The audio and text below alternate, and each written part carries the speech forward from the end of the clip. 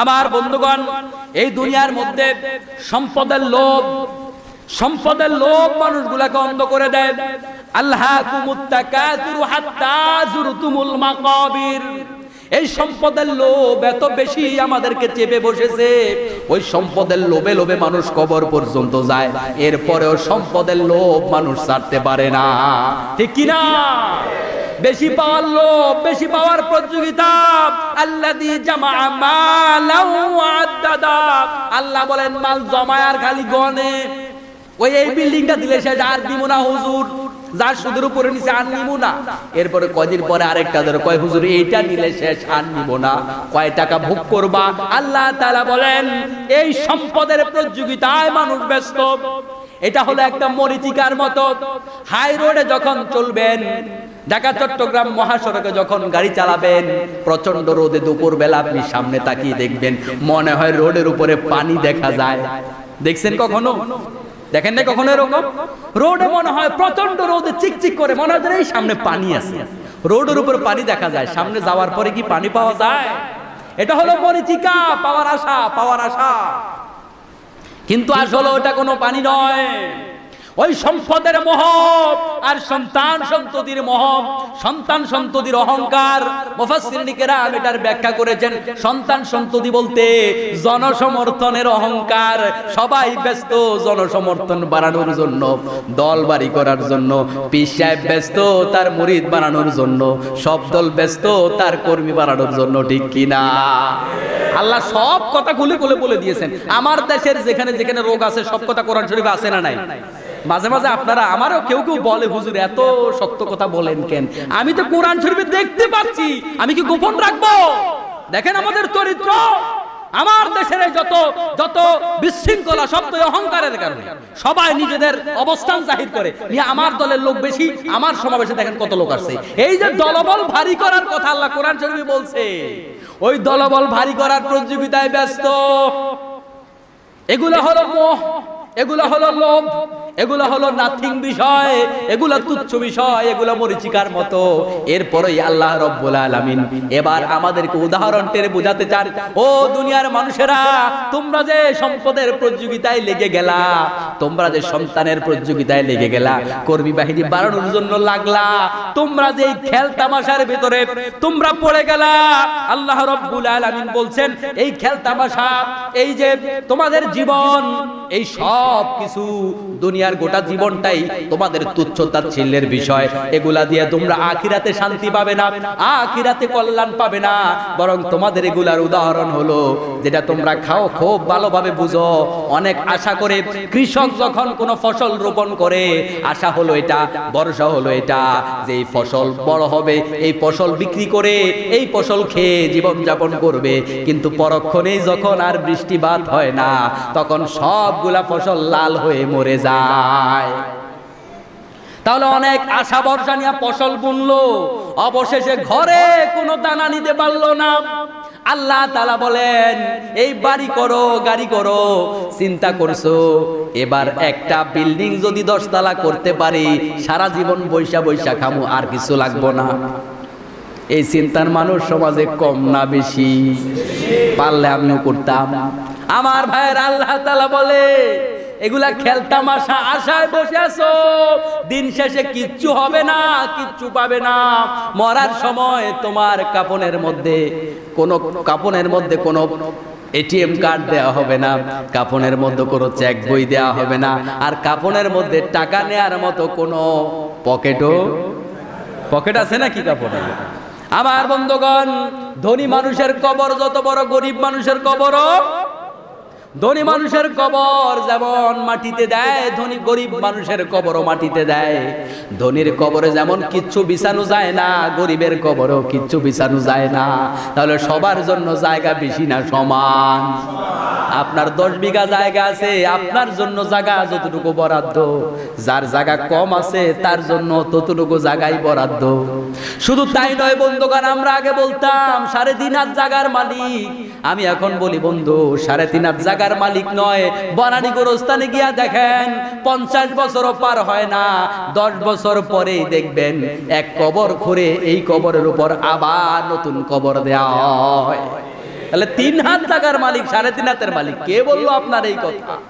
মোটেই না, মোটেই সত্য নয়, সাড়ে তিন হাত জায়গার মালিকও মানুষ নয়। আল্লাহ তালা সে কথাই বলছেন, ও দুনিয়ার মানুষেরা, তোমরা জেনে রাখো জ্ঞান দিচ্ছেন কে? আল্লাহ বলেন, ওই যে দুনিয়ার মোহ দুনিয়ার সম্পদ, দুনিয়ার কর্মী বাহিনী, এই সব কিছু তোমাদেরকে পরস্পর হিংসার মধ্যে লাগিয়ে ফেলেছে।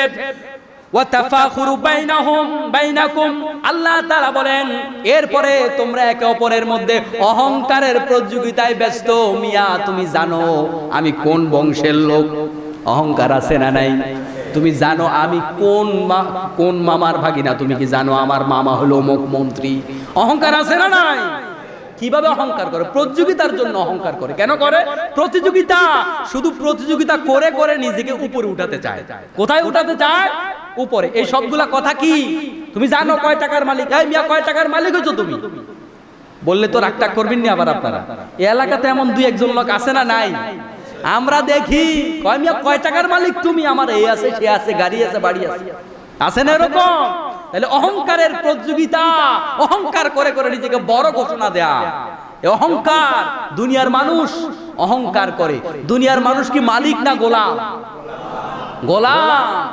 মানুষ যখন নিজেকে মালিক ভাবা শুরু করে, তখনই তার জন্য জাহান্নাম অবদারিত হয়ে যায়।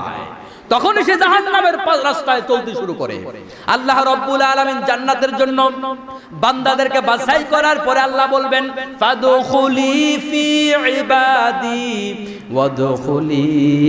জান্নাতি। আমার বান্দাদের মধ্যে প্রবেশ করো আর জান্নাতে প্রবেশ করো। সুবহানাল্লাহ। আমার গোলামদের মধ্যে সামিল হয়ে যাও আর জান্নাতে যাও। তার মানে হলো আল্লাহর গোলাম না হলে জান্নাতে যাওয়া আল্লাহর গোলাম হয়ে জান্নাতে যাওয়া লাগবে। গোলাম হলো বড় পরিচয়। ওই গোলামের পরিচয় দিতে যার একটু বিবেকে বাদে, যার লজ্জা লাগে, যার অন্তরের মধ্যে ওই অহংকার ঢুকে, ওই অহংকারওয়ালা, অন্তরওয়ালা মানুষকে আল্লাহ তাআলা জান্নাত দেবেন না। যার অন্তরের মধ্যে যাররা পরিমাণ অহংকার থাকে, তার জন্য জান্নাত নাই। এখন আমাদের এই যে অর্থের প্রতিযোগিতা, এগুলাও অহংকার। আমাদের যে সম্পদের প্রতিযোগিতা, এগুলাও অহংকার। আমাদের যে বড় দলের প্রতিযোগিতা এগুলাও অহংকার। আমাদের যে রূপের প্রতিযোগিতা, এগুলাও অহংকার। বহু মানুষ তার গোটা জীবন এই মিল লাইফ সৌন্দর্য প্রদর্শন করে। আছে না নাই? তাহলে কেউ তার খেলাকে জীবনের পেশা হিসাবে নিল, কেউ সৌন্দর্য প্রদর্শন করাকে নায়ক, নায়িকা, মডেল। এখন আমরা বলি মডেল আমার ভাইয়েরাই মডেল বলা।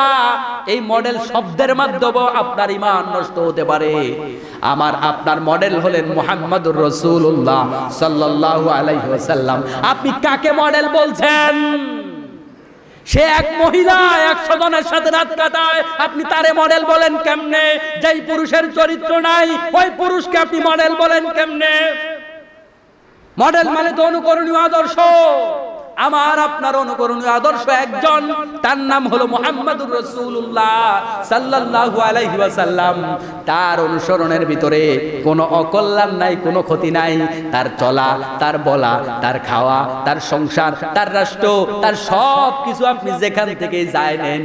শুধু কল্যাণ আর কল্যাণ, গোটা জীবনে তার জীবনে কল্যাণ ছাড়া অকল্যাণকর কিচ্ছু নাই। সুবহানাল্লাহ! আর আপনি যাকে মডেল বললেন, ওই মডেল আপনি হতে গেলে আপনার ইমান, ইসলাম থাকবে তো।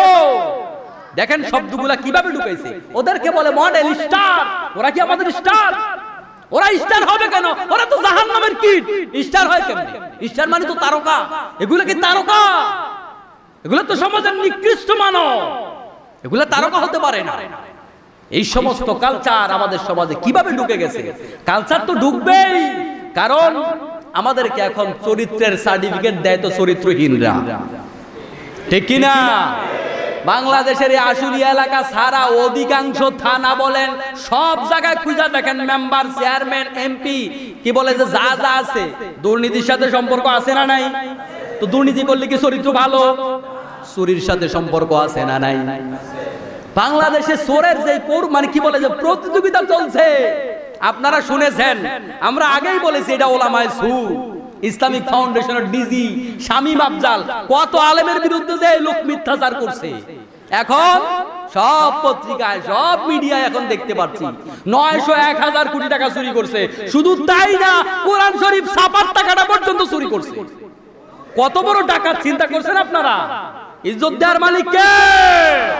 কত মান সম্মানী আলেমদের ইজ্জতে হাত দিয়েছ? আল্লাহ তোমারে এমন পচান পচাইছে।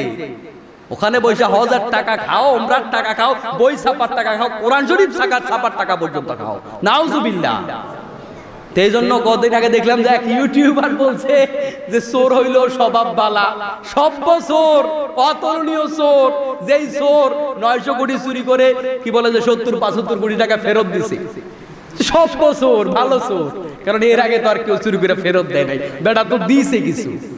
আমার ভাইয়েরা, এই যে অবস্থা আমাদের সমাজে, ওই দুর্নীতিবাজগুলো, রাগ করবেন না, এটা কি সমাজের বাস্তব চিত্র নয়? অধিকাংশ মেম্বারই তো এই চুরি করে। আপনি রাগ করলে কি হবে? সত্য কথা। কিন্তু আপনার চেয়ারম্যানরাও তো ওই অধিকাংশ চেয়ারম্যানরাও কি করে? চুরি করে। বাগাবাগি করে চুরি করে মেম্বার চেয়ারম্যানরা। আর আপনার মতো, আমার মতো মাদ্রাসায় পড়ুয়া কামিল পাসদের চরিত্রের সার্টিফিকেট দেয় ওই গম সরে দেয় কি না? সমাজ কোথায় গেছে? কোথায়? কত নষ্ট হয়ে গেছে? এ হলো অবস্থা। প্রিয় ভাইয়েরা, তাই আসুন, আল্লাহ তালা সে কথাই বলছেন। ও দুনিয়ার মানুষেরা, তোমরা জেনে রাখো, এই যে সম্পদের প্রতিযোগিতা, জনশক্তির প্রতিযোগিতা এই যে তোমাদের খেলা, তামাশা, সৌন্দর্য প্রদর্শন, এই যে সুন্দর চাকচিক্য দুনিয়া, এগুলা সবগুলা হলো মরিচিকা। আমি তোমাদেরকে আসল জ্ঞান দিচ্ছি। আসল জ্ঞানটা হলো এই, তোমাদের পরকাল হলো সত্য। ওই পরকালে তোমাদেরকে যন্ত্রণা দেওয়া আজাব দেয়া হবে। আল্লাহ আগে জাহান নামের কথা বললেন। এই আকাম যদি করে থাকো, এই দুনিয়ার তালে যদি তোমাদের গা বাসিয়ে দাও, তাহলে তোমাদেরকে যন্ত্রণা দেওয়া আজাব দেয়া হবে। আর যদি গা না বাসাও আমার কথা আসল জ্ঞানটা যদি তোমরা গ্রহণ করতে পারো, তাহলে আমি আল্লাহ রব্বুল আলামিন তোমাদেরকে জান্নাত দিয়ে দেব আর আমি আল্লাহ তাআলা তোমাদের উপর সন্তুষ্ট হয়ে যাব।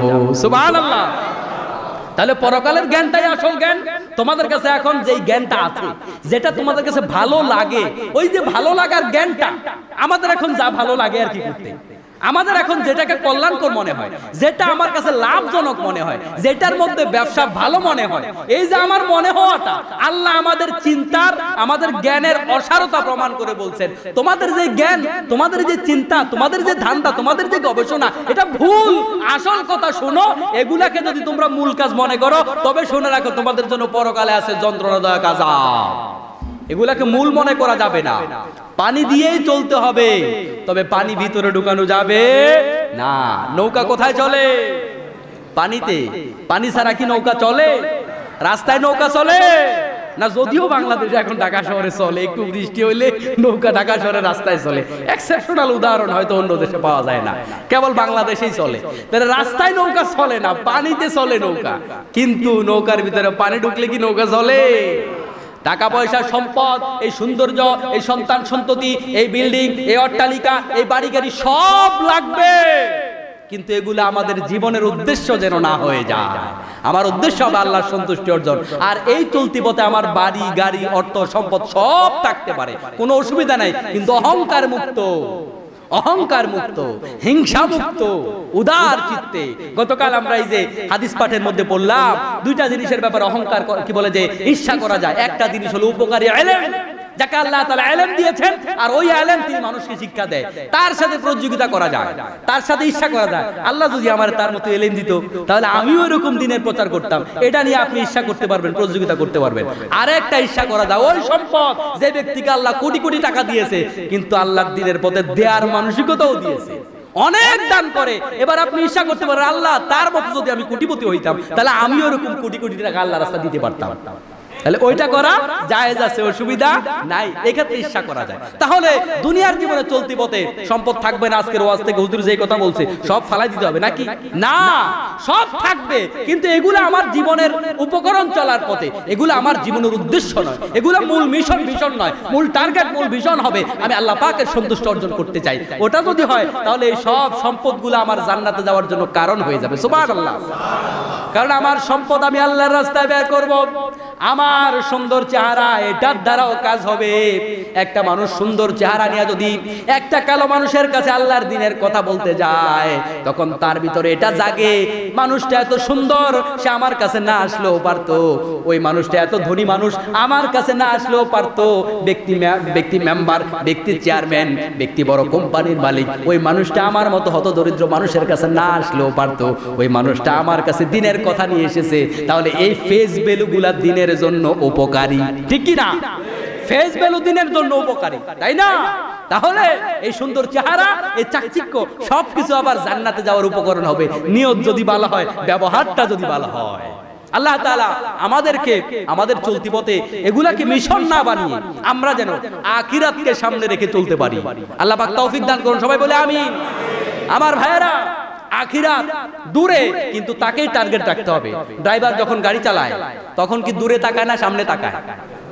কোথায় তাকায়? আর যদি চিন্তা করে, গর্ত এখানে, আমি এদিকে তাকাইয়া গাড়ি চালাই, গাড়ি কি চলবে? তাহলে এই যে সামনের জায়গাগুলো, এগুলো পার হতে কোনো অসুবিধা নাই। টার্গেট যদি সামনে রাখে, কিন্তু এখানে তাকাইলে তার অ্যাক্সিডেন্ট হওয়ার সম্ভাবনা আছে। আখিরাতকে লক্ষ্য করে, আখিরাতকে সামনে রেখে যদি আমি পথ চলি, তাহলে আমার টাকা পয়সা আমার সম্মান, আমার নেতৃত্ব, আমার সহ্য বীর্য এগুলো আমাকে জাহান নামে নিতে পারবে না। আর যদি এগুলাকে আমার মূল কাজ, এগুলাই আমার চলার পথ, এগুলাই আমার আসল জিনিস বানায় ফেলি, তাহলেই জাহান নামে যাওয়া সম্ভাবনা আছে। ঠিক কি না? আল্লাহ পাক আমাদেরকে এই কথাগুলো আমি সহ সবাইকে আমল করে সুন্দর একটা জান্নাতি জীবন গড়ার তৌফিক দান করুন, আমিন।